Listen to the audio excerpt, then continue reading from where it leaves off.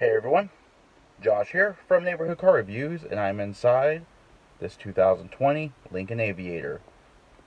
This is the Reserve Aviator, and I am at Tom Roush Lincoln in Fishers, Indiana.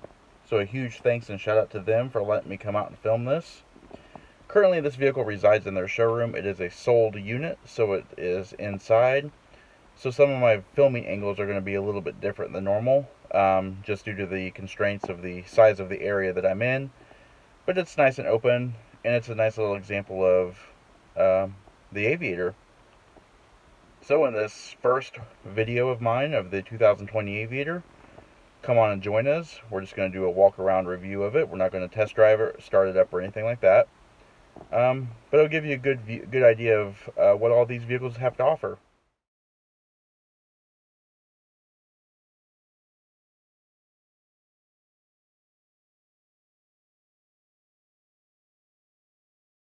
The all-new Lincoln Aviator is finally replacing the Ford Flex-based Lincoln MKT and is based on the new rear-wheel drive Explorer platform as the previous 2003 to 2005 Aviator was.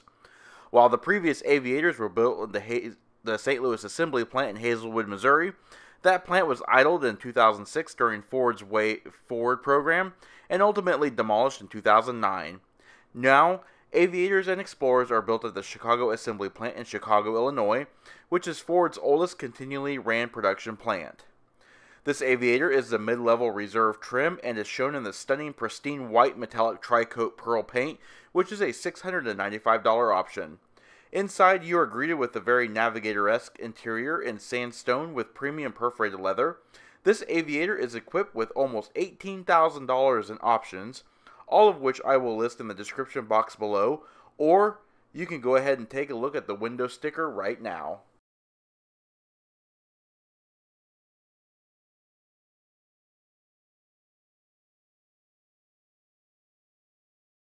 While Aviators are standard with rear-wheel drive, for $2,510 you can opt for the all-wheel drive package, which this reserve features.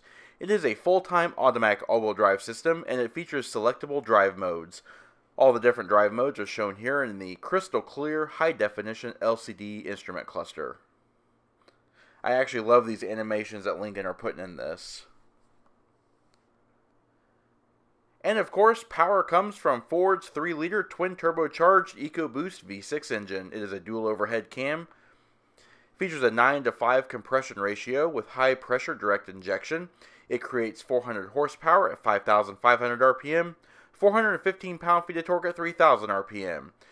Its curb weight is 4,897 pounds with a gross vehicle weight rating of 6,500 pounds. It can tow a maximum capacity of 6,700 pounds.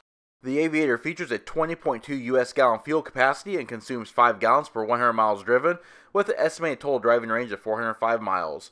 EPA fuel economy ratings are 17 miles per gallon city, 24 miles per gallon highway, and 20 miles per gallon combined. The transmission on this vehicle is Ford's 10-speed 10R80E select shift automatic transmission with the piano key selectors, as well as shift pedals on the steering column.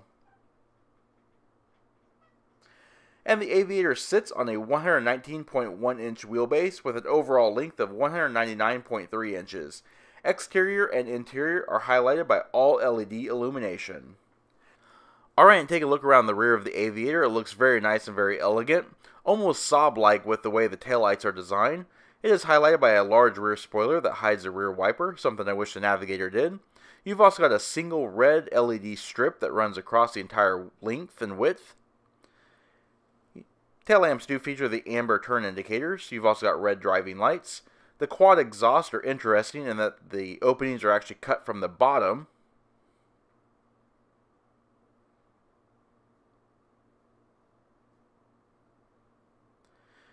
And while I couldn't get a good profile view inside this room, just walking along the Aviator, it's a very nice, almost smaller version of the Navigator, although I like the styling of the Aviator a lot better.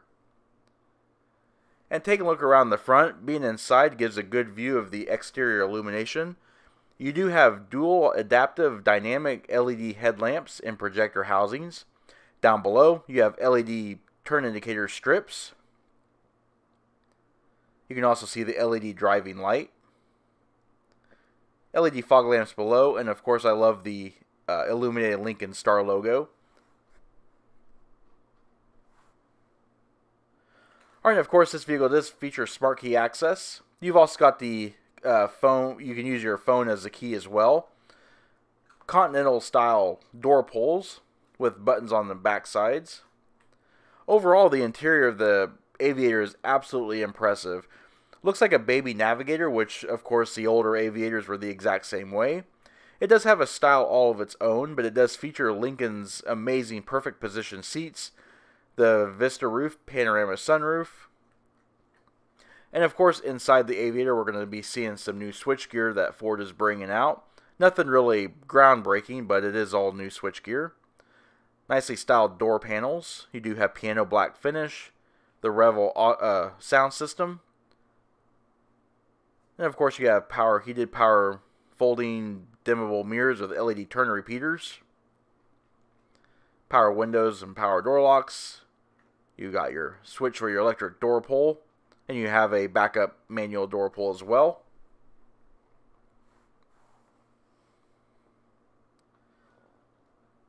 illuminated Lincoln sill plate.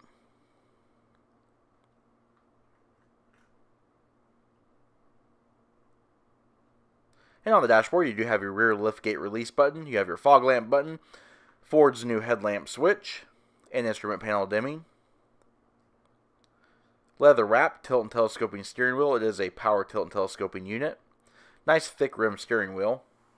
Does feature shift paddles.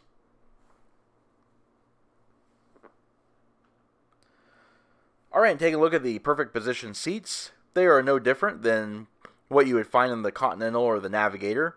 They are just as comfortable and just as adjustable. Many of the adjustments are made on the door controls, however you do have some that are inside the infotainment system. Alright, now we're going to pan through the interior and show more details. As it is inside, we could not start it, so we're just running off of the battery right now. I do love this two-tone leather wrapped steering wheel with a stitched airbag cover.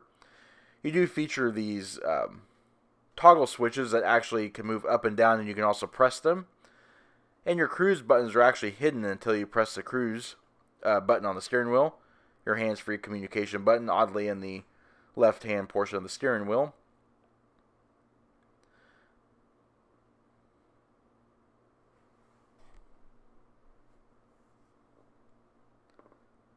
Alright, this vehicle does feature the LCD cluster that is commonplace on Lincolns now. The Ford Explorer is also using the same style of LCD uh, cluster as well. This is just a quick view of some of the menus that are inside the uh, the computer system itself. Pretty similar to most Lincolns now. I do like how it has the uh, off-road data though for the pitch and roll. And of course, this vehicle is equipped with a heads-up display. Does have the Revel audio system, so you have your center point speaker here. And seemingly uh, fitting with automotive styling today, you do have a floating tablet-style display screen. Push button start. The nice thing about the screen, though, is does feature bright, crisp, and clear graphics. Great response.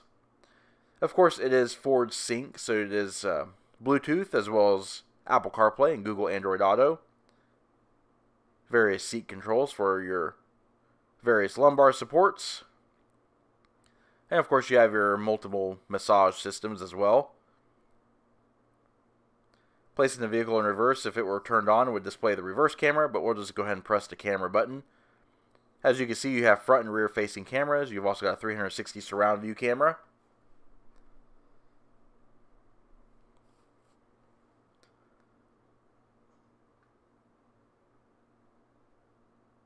Toggle your park sense off and on.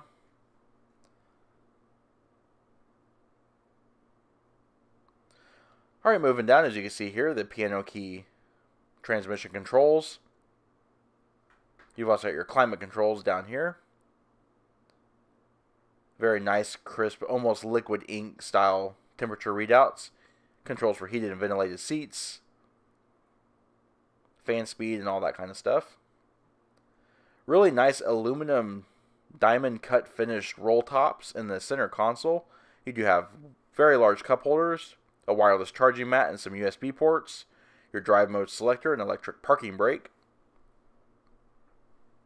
Nice wide padded armrest covered in leather. Inside, the storage is illuminated.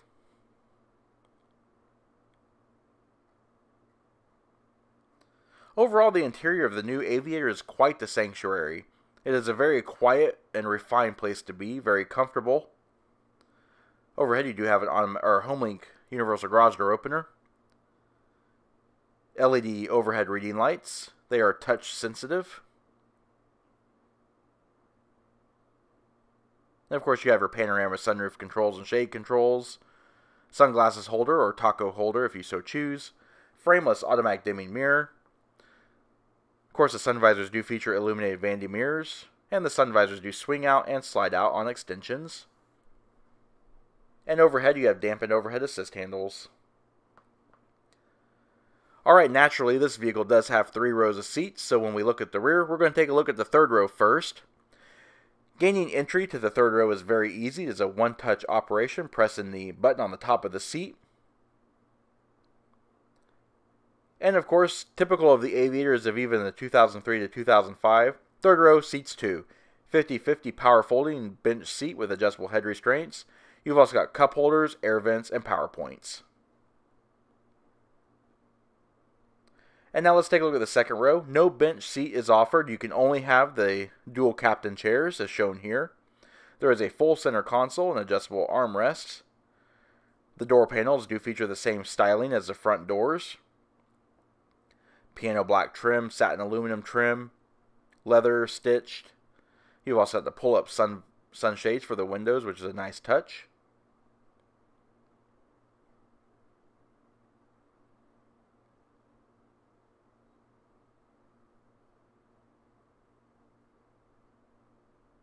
Overall, the rear seats are very nice and very spacious. They are fully adjustable for fore and aft, as well as seat back recline. High adjustable head restraints and adjustable armrest as well. These seats are also heated and ventilated. Another nice touch is this full center console with dual cup holders, storage bin. You have your overhead shade control for the panorama sunroof and a nice amount of storage. And the revised rear center console is an, a really neat system here. You do have a LCD touchscreen display where you can control your heated and ventilated seats. You also have uh, your climate controls here. Your audio controls for the rear seat. As well as your screen settings. And I love the calm screen.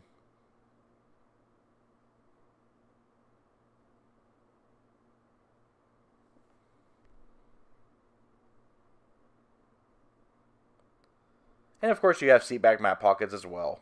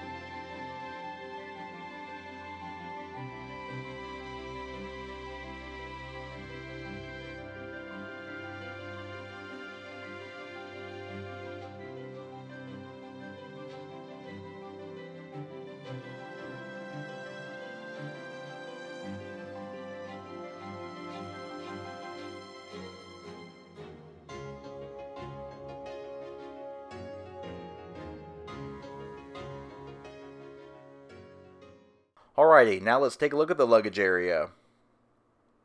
Typical of smaller third row SUVs, luggage area isn't very big, but it's not very small either. It's actually a very smartly designed area with a flat load floor. There is little to no wheelhouse intrusion.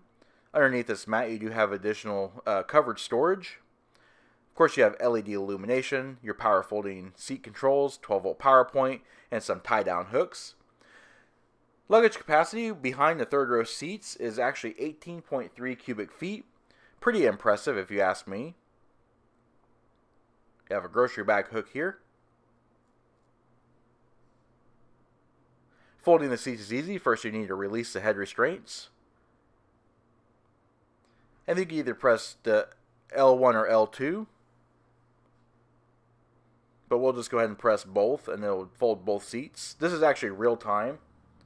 They actually fold pretty quickly. Luggage capacity behind the second row seat, as shown here, is 41.8 cubic feet. And if we were to fold the second row seat, your total luggage capacity is 77.7 cubic feet.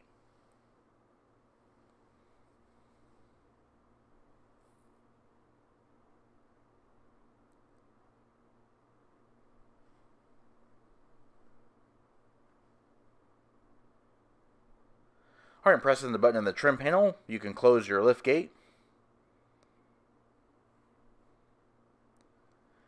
And this does conclude our in-depth look at the new Lincoln Aviator. If you like this video and would like to see more like it, comment down below. Also, don't forget to hit the like button and subscribe, and check out our Facebook page at facebook.com slash neighborhood car reviews. And of course, as always, thanks for watching.